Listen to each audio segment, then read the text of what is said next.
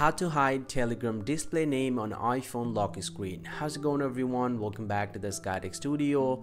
And this video, let's say you get lots of notifications from Telegram and you want every name to be hidden on your iPhone lock screen. Then here in this video, I'll share the complete guide of how you can do this. So without wasting any more time, let's get started with the video guys.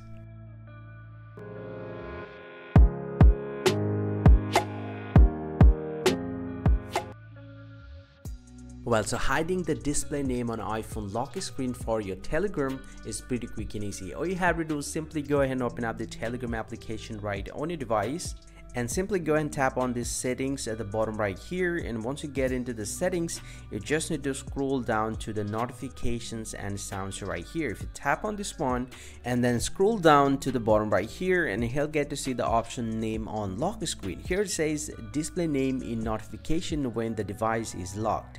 To disable make sure that show previews is also set to when unlocked or never in our settings uh, that this option right here. You just need to uh, toggle off this option. And once you have done that you just need to get back from here then open up your settings and then scroll down tap on notification and then scroll down and find out uh, the telegram application. Once you get that one go ahead and tap on that and scroll down tap on show preview and make sure to select when unlocked or never.